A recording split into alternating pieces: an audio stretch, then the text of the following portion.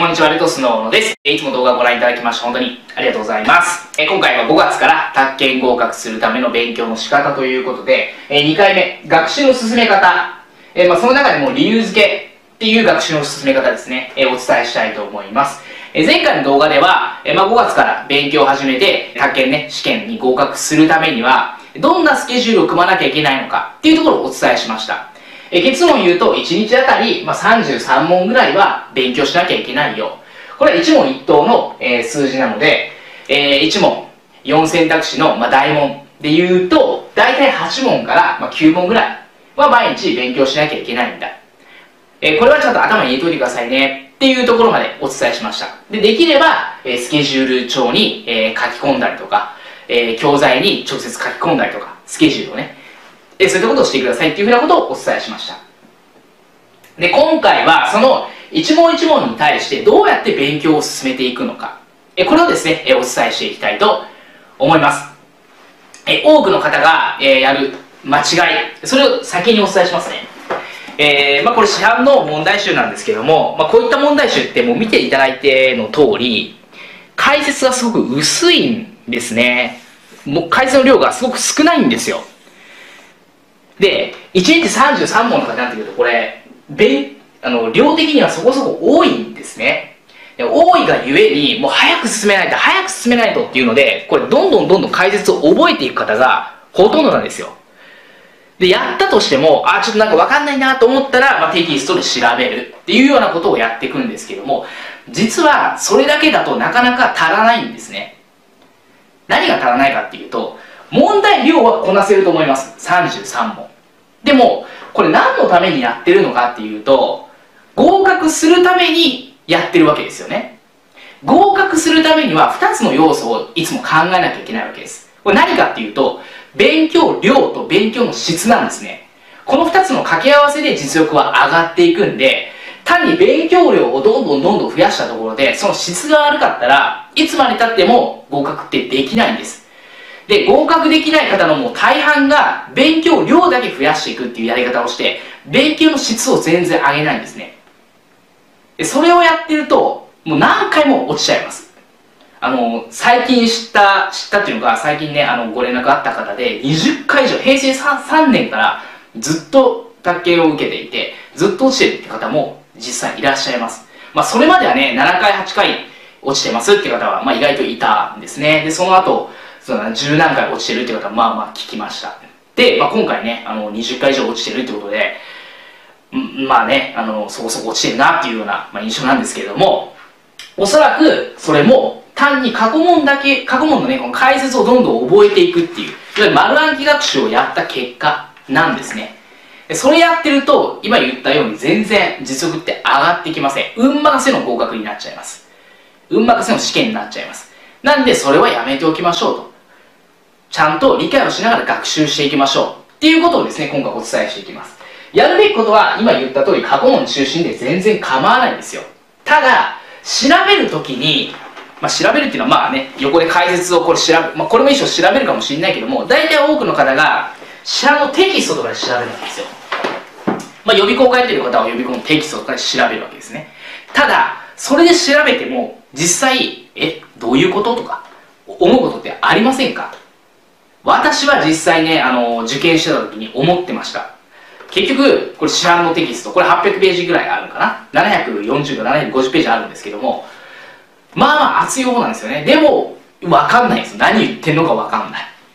で、結局、うん、覚えなきゃいけないのかなっていうふうにして、覚える学習をしてました。つまり丸暗記学習ですね。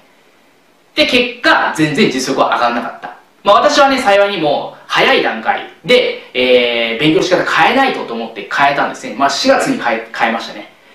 で、そこから理解学習、今からお伝えするような理解学習に変えて一発で合格しました。で、実際理解学習を使って、えー、昨年は3ヶ月で合格した方もいます。全く知識ゼロ。で、えー、中卒、えー、元飛び職の方なんですよ。中卒で元飛び職で、まあね、お会いしましたけども、まあ勉強ができるわけではないです、その方。勉強はね、正直できない。でも、一発で合格しました。3ヶ月で。たった3ヶ月で。全く法知識ゼロで。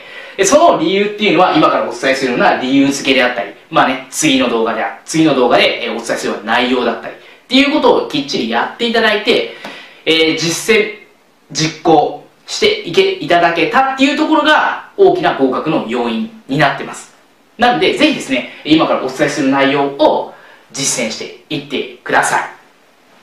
で、調べるのっていうのは、このテキストでまず調べて分かればいいんですけど、分からなかったらちゃんとネットで調べましょうっていうところです。これは独学だったり予備校に通ってる方ですよ。弊社の個別指導であれば、えー、個別指導の教材の中に、えー、考え方とか全部載ってますんで、それも調べなくてもいいけども、独学だったりとか予備校の教材だったら載ってませんので、そのところは自分で調べる。権利関係とかだと、インターネットの、例えば弁護士さんのサイトとか、えー、行政書士さんのサイトとかで、意外とね、あの、わかりやすく載ってるところありますんで、そういったところで調べる。っていうのが、まあ、えー、具体的な内容になります。例えば、一つ具体例出しますね。代理権の消滅のところです。実際市販のテキストで言うと、こんな風に書いてあります。こんな風に。代理権は本人または代理人に以下の自由があると。例えば死亡とか破産とか貢献開始とか解約ですね。とかあると、えー、消滅しますよ。で、消滅するところは丸がついてるんですね。で、多くの方はこれを見ると、あ、これを覚えるんだっていうふうに思っちゃうわけですよ。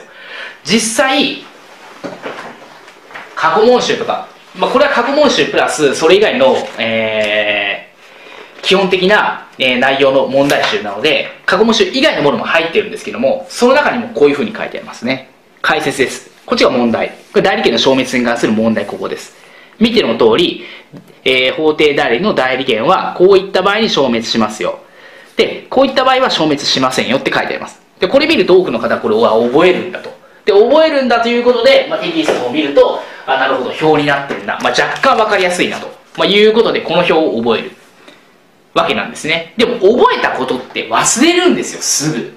しかもこれ何の理由付けもしてないし単にこの表を覚えろって言われても覚えるものってたくさんあるわけですよ。これ見ていただいてると800ページがあるわけですよね。覚えられないんですよ。覚えてもまた忘れちゃうんですよ。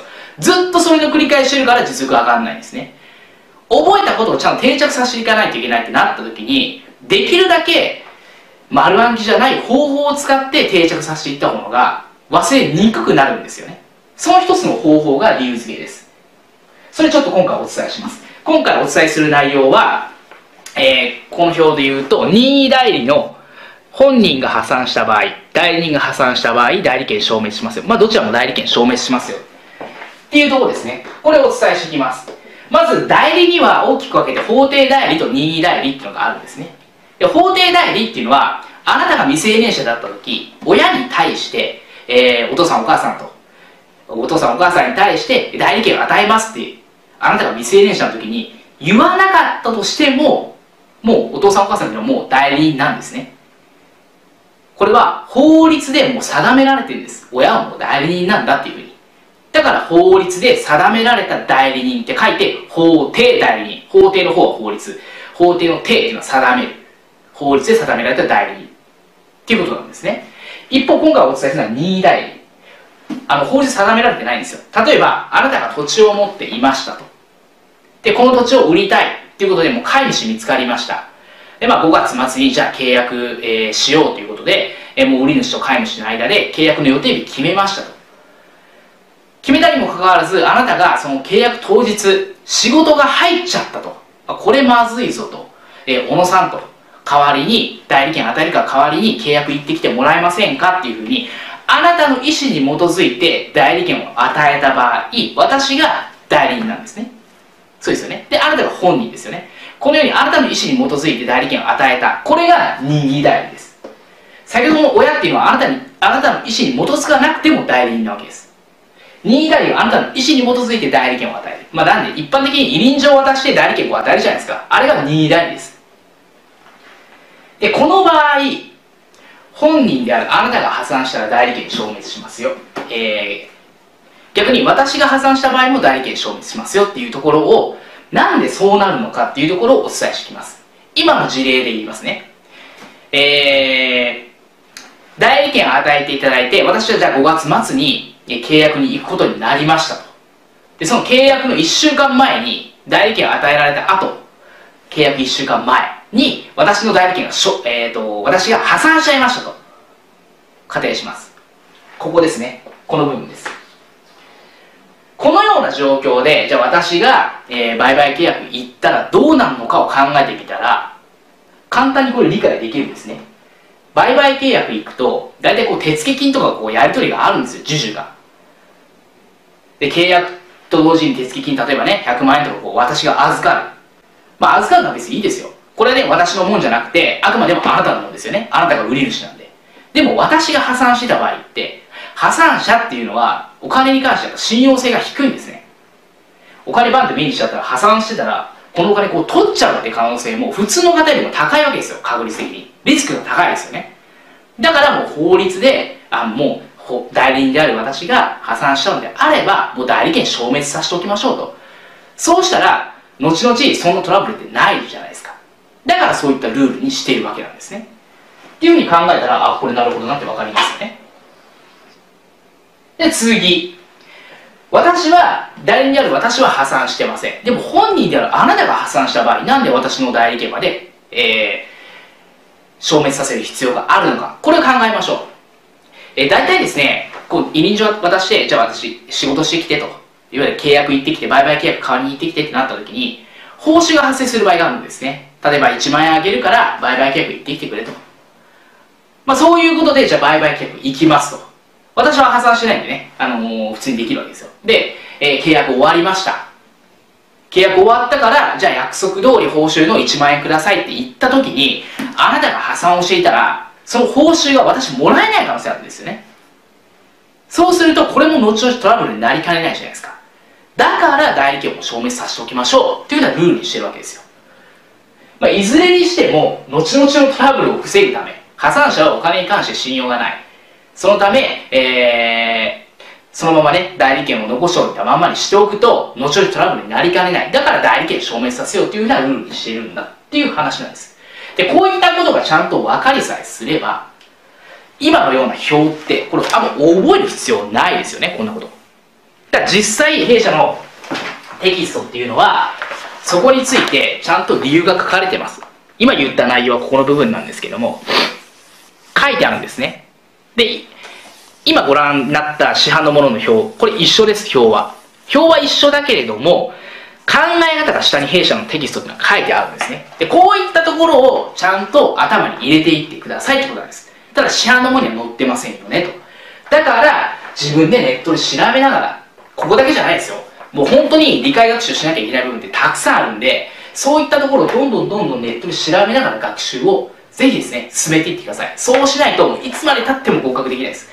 結果として、今年のね、33問だったら、なかなかね、時間的に難しいってことで、今年は無理だったか、無理かもしれないです。ただ、今言ったやり方をすれば、来年ちゃんと合格できます。このやり方じゃなくて、本当にね、もう、過去問を丸暗記みたいな感じでやっていたら、今年ももちろん受からないし、来年も運任せ、再来年も運任せ、本当に7回、8回ずっと落ちてる。もうその方のパターンにはまっちゃいますんで、そうならないためにも、ぜひ勉強の仕方をね、えー、これを機会にガラッと、変えていきましょう。実践しないと結果変わってきません。なんでぜひですね、ぜひ実践してください。で、次の動画では、えー、学習の進め方の2つ目。これも理由付けじゃないんですけども、またそれと別のやり方。これもちゃんと、まあ、理解学習の一つって考えてください。丸暗記じゃなくて違うやり方があるんだよっていうそのやり方をお伝えしていきますんで、次の動画もぜひですね、ご覧ください。